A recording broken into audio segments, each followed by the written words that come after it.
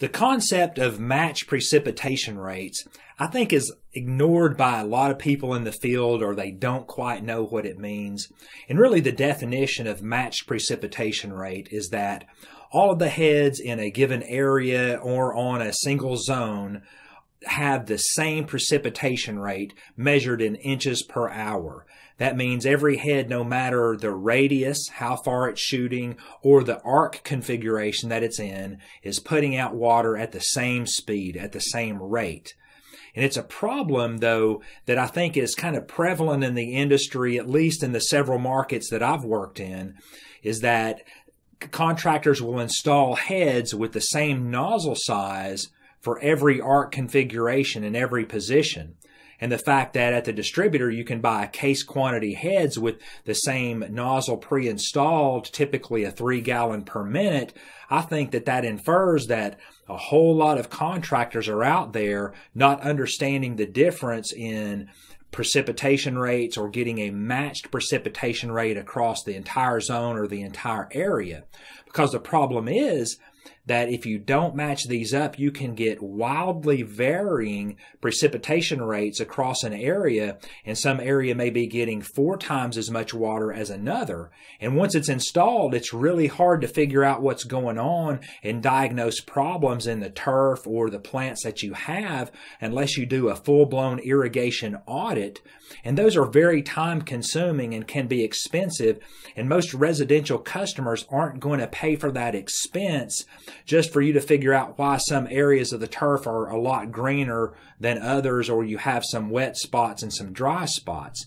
Because let's think this through. If you have a three gallon per minute nozzle in a head that's doing 360 degrees, you have it in 180 degree and also a 90 degree arc head. For the amount of time that a 360 degree head goes all the way around, a head in a 90 degree arc is going to cover its area four times in the time that the 360 degree head only sprays its given area once. So it has a big difference here. And let's look at this chart. And we're looking at a 2.5 gallon per minute nozzle. They, they all have the same radius distance, but let's look at the precipitation rate all the way over on the right.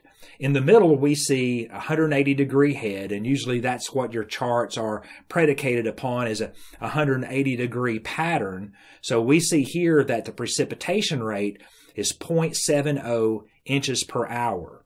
So as it goes one time across its 180 degree arc, it's putting down water at 0.70 inches per hour speed. But if you had that same nozzle in a 90 degree head, it's going to have twice as much output or the it's going to go across its pattern twice as much so its precipitation rate is 1.40 inches per hour but the 360 degree head is one fourth of the 90 or half of the 180 degree pattern at 0.35 inches per hour so you'll see that if you had the same nozzle size and heads in different arc configurations on the same zone, you've got a big problem. So there's a couple of ways around this.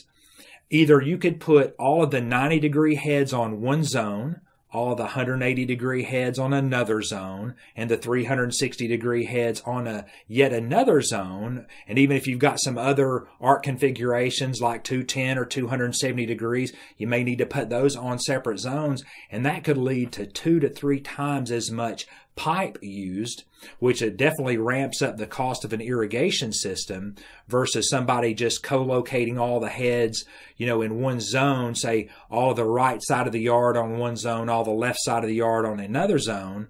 So to do that, what you would have to do, it would be to stagger the nozzle sizes.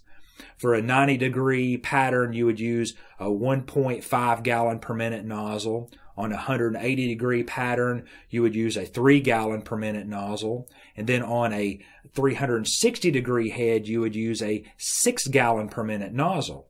Now the problem with that is, is that you're going to get different radius lengths with those different gallon per minute nozzles. In fact, on the Rain Bird uh, series of heads and, and on their nozzle tree, you're going to get up to five or more feet difference in each of those nozzle sizes. So on the design aspect, that's kind of a nightmare that you'd have to put the 90 degree heads in closer to the 180 degree heads because it's, I mean, five feet is, is quite a bit. And if you're not matching that up, you're going to get some gaps and so forth.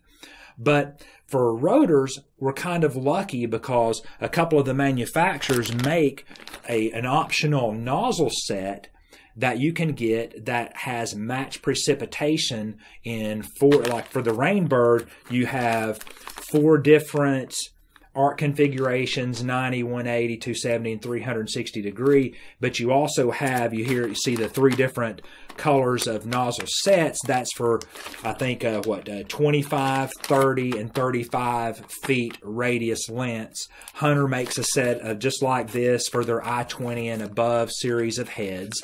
So that's pretty convenient for the rotors. It's easier to deal with with spray heads.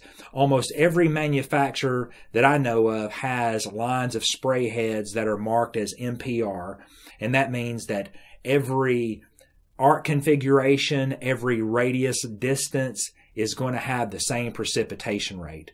The rotator heads mostly are match precipitation, so the spray heads are easier to line up. It just takes a little bit more thought to deal with the rotors. And I hope this has cleared up some misconceptions and letting you know, you know, when you go out there to design a system, you're either going to have to stagger your nozzle sizes, separate your zones by arc configurations, or use a product that has the optional MPR nozzle sets.